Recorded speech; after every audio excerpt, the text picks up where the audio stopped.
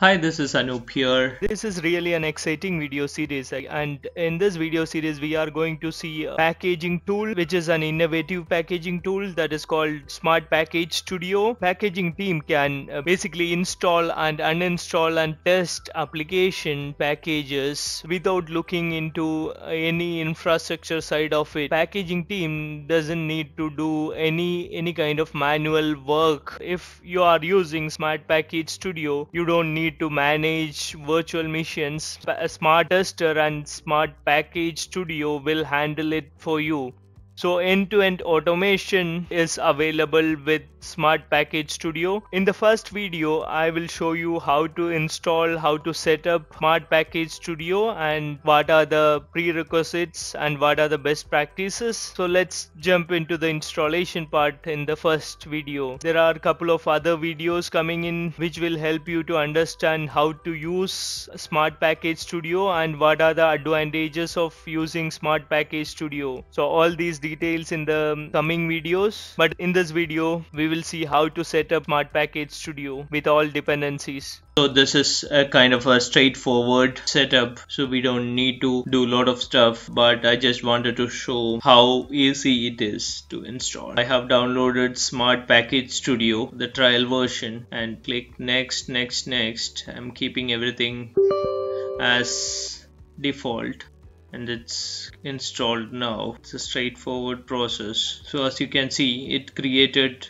three shortcuts. Smart thin app editor smart capture and smart editor. So it's asking me to enter the username and password which I will do. Without internet connection the smart studio won't work. So you need to put your email ID and password along with smart package studio I would recommend to use VirtualBox, Oracle VirtualBox and this is a free download I hope. And I have already downloaded it. I'm trying to install it now. Okay so I'm taking the default path again. This is also a straightforward installation I would say. Okay I will say install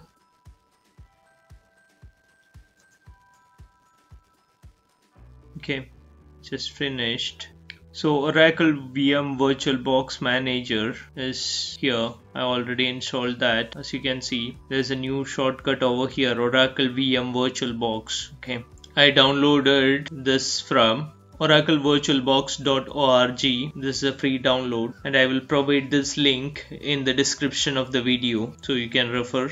So we have installed VirtualBox. Now we need to install VirtualBox extension pack okay so I'm trying to install it this is also a straightforward process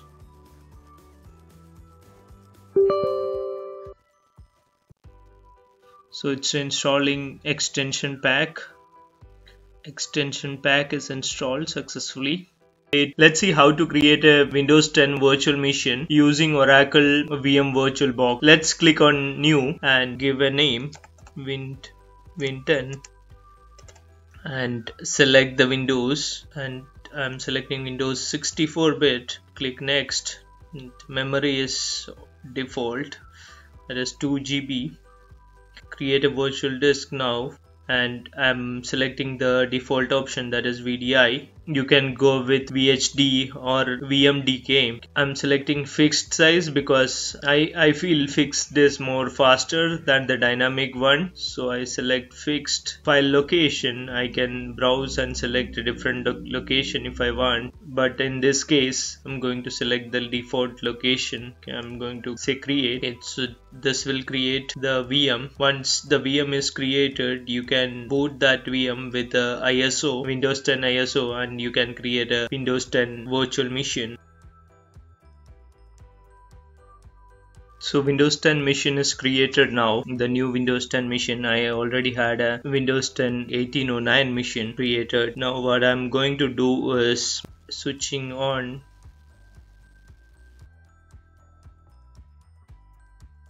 Let's log into the machine. This user is a local user and it has local admin access I started the mission and logged into it with the admin account and I'm going to devices and click on insert guest additions CD image. That devices and insert guest additions CD image didn't trigger anything so I'm logging in with administrator built-in administrator account to set up with VirtualBox. Okay, let's try to go to devices, devices menu and insert guest additions CD image. Insert guest addition addition CD image is not working actually when I clicked on it. So I found that there is an ISO already. I wanted to remove that ISO or eject that ISO. So I did that. Then I'm try going to try the insert guest addition CD image again. Let's try. Okay, it seems it is working now. So let's run this.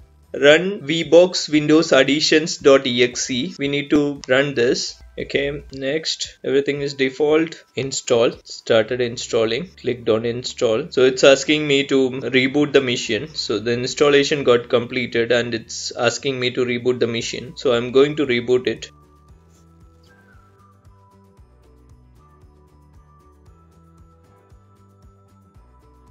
Let's log in with default admin account. Another requirement from smart capture is it's not a requirement probably it's a best practice.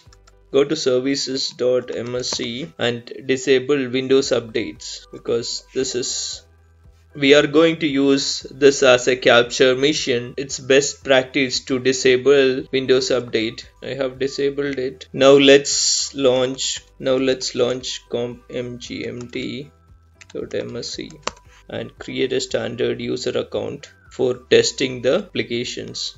So i will create a standard user account that is called test user. Put the password. I'm going to create this user and test user is created. Now we are going to use this test user for testing the packages now it's time to take the snapshot of the machine. So probably I will say snapshot 1 okay that's fine. It's taking the snapshot of the machine. It's finished. Now let's close the virtual machine. Click on this option power off the machine and click on restore current snapshot snapshot 1 which we have created. Click ok. Thank you for watching i hope this video is useful to you. See you next time